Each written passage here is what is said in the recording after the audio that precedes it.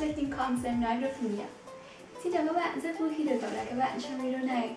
Hy vọng rằng những ngày vừa qua thì các bạn đã có một cái Tết thật là vui vẻ và ấm cúng với gia đình và xin chúc cho các bạn trong năm mới sẽ có thật nhiều sức khỏe và sẽ gặt hái được nhiều thành công trong à, việc học tập cũng như là trong công việc và chúc cho mỗi ngày của các bạn sẽ trôi qua thật hạnh phúc và bình an. Theo mong muốn của một số bạn thì ngày hôm nay mình đã lựa chọn một chủ đề về ngữ pháp đó là liên quan tới ờ, đại từ phản thân reflexive pronomen. Đây là một chủ đề ngữ pháp tương đương với trình độ B1 trở lên. À, đại từ phản thân có nghĩa là gì? Nếu như mà các bạn đã từng học tiếng Anh thì chắc hẳn rằng khi nghe tới đại từ phản thân thì các bạn đã không còn xa lạ nữa. Để giúp cho các bạn dễ hình dung ờ, thì mình sẽ có một vài cái ví dụ so sánh cho các bạn giữa tiếng Đức và tiếng Anh. Ví dụ như trong câu này Ich wasche mich Ich wasche mich có nghĩa là tôi tắm. Trong tiếng Anh chúng ta sẽ nói là I'm washing myself. Thì các bạn có thể thấy là những từ như là mich hay là myself là những đại từ phản thân. Dịch ra tiếng Việt thì chúng ta có thể hiểu nó có nghĩa là tự là tự thân ờ, và phản thân ở đây có nghĩa là cái cái hành động ở trong câu nó tác động ngược lên cái chủ ngữ của câu.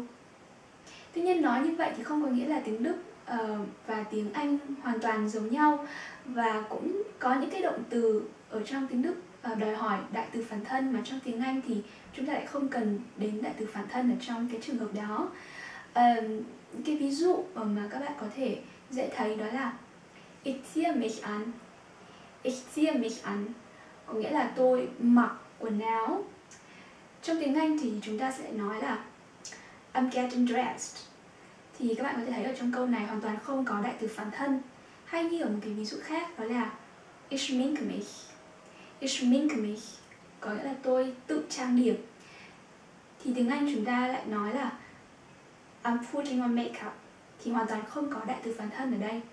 Đại từ phản thân ở trong tiếng Đức có thể chia ở dạng cách 3 dative hay là cách 4 accusative và để phân biệt được điều này thì cũng không khó, khăn lắm và các bạn chỉ cần dựa theo những cái quy tắc sau đây. Thứ nhất là khi nào đại từ phản thân sẽ chia ở dạng cách 4 accusative. Như trong ví dụ, ich wasche mich. Ich wasche mich.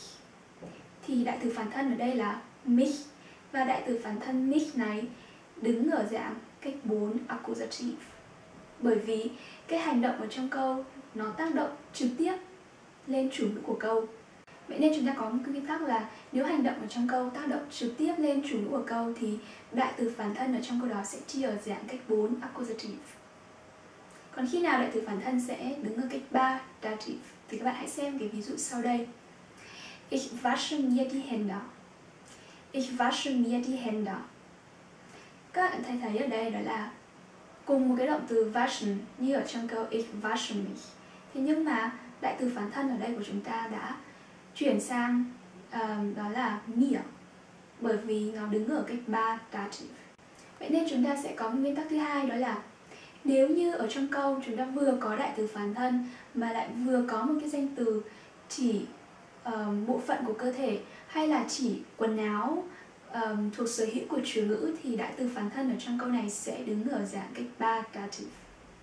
Các bạn có thể thấy rõ hơn ở trong cái ví dụ này đó là Ich wasche mir die Hände thì đại từ phản thân ở đây của chúng ta có là mir và đằng sau đại từ phản thân đó là danh từ die Hände, số ít là die Hand là bàn tay.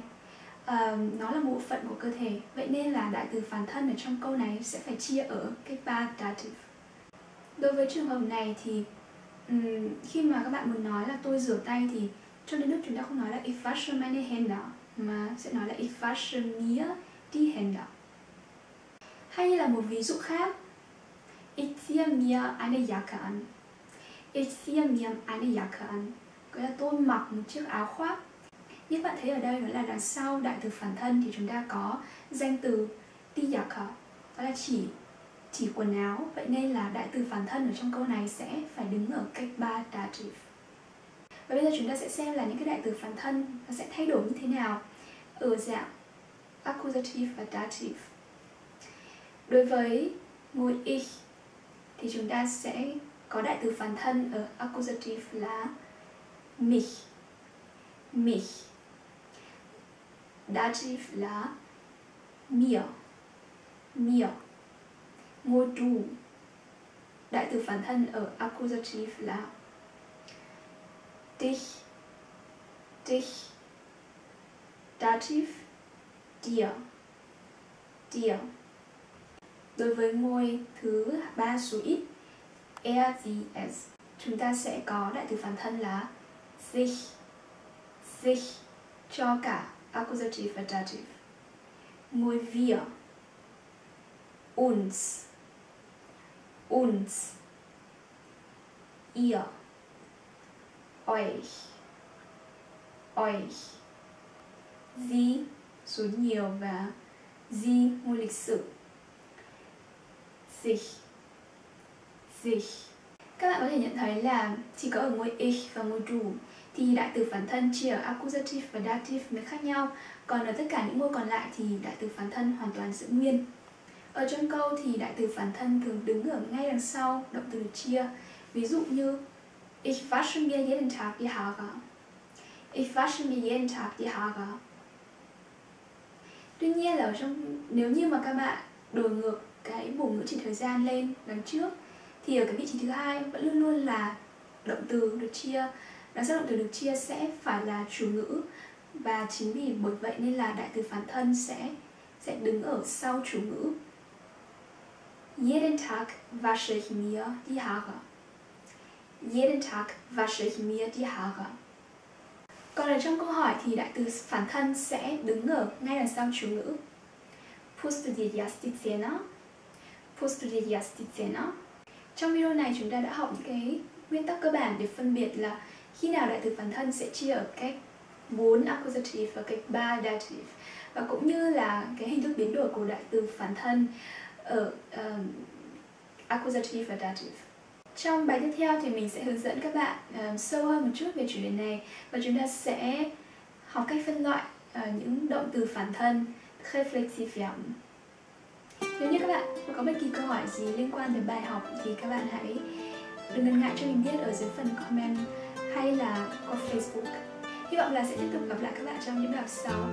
Tschüss, bis bald!